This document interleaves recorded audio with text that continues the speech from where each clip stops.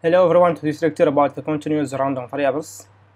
The difference between the continuous random variables and the discrete random variables that we have seen before is the sample space. So the sample space in the case of discrete random variables is countable. However, in the continuous random variables, the sample space is an uncountable uh, sample space or, or an uncountable set.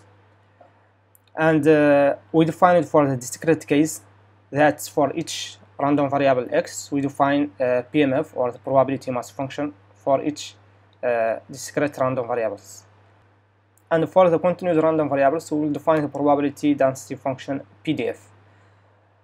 The probability density function uh, is noted by f, uh, f of x, so fx, and we can get the probability of x in an interval b because x is a continuous random variable so we will define it in an interval not uh, itself. So the probability of x in an interval is the integral that x x in that interval b uh, of fx dx.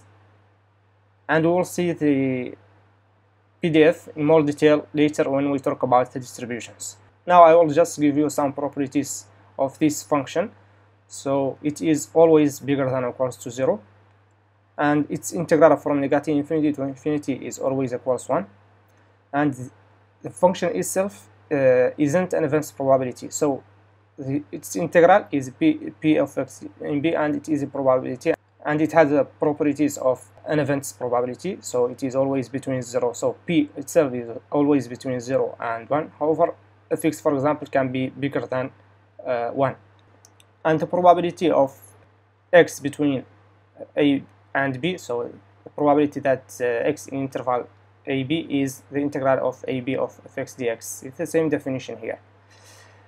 And the probability that x is equals a specific uh, element or a specific number is always equal to 0 because x is continuous so in this case the probability of x equals a specific specific element is always equal to 0 because it will be the integral from this element to uh, the same element and it, we know that it is always uh, 0. So from this we know that the when x is a continuous random variable so it's always defined for an interval and not at a specific uh, element or a specific number.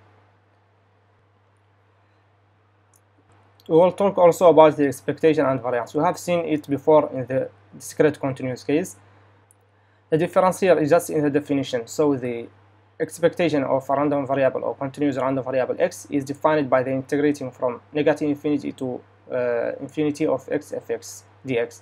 In the discrete case, we ha have seen that ex is defined by the summation is equal to summation of x from negative infinity to infinity of x px, where px is the uh, PMF but this in the discrete uh, random variable case. However, in the continuous, the definition is like that, and we use the integral instead of the summation and fx instead of px. And the variance is defined by the same expression, so it has the same expression that we have seen in the uh, discrete case.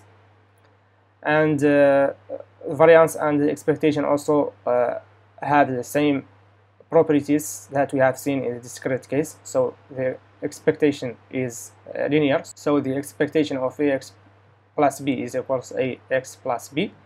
And the variance of ax plus b is equals a squared variance of x.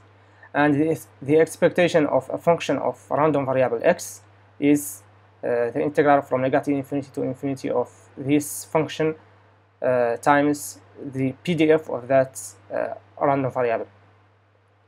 We will talk also about the cumulative distribution function in the case of uh, continuous random variables. We have seen it before in the case of in the case of discrete random variable.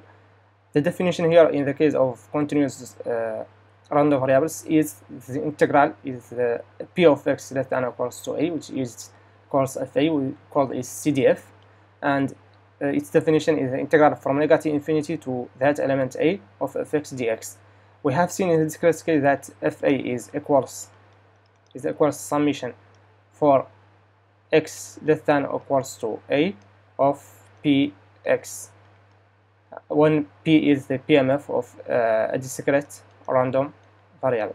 However in the continuous we use the integral and we use fx dx and it is clear from this expression that fx is the derivative of fa with respect to a so we can get fx when we have for example fa and we want to get fx we can get it from fa uh, by using this expression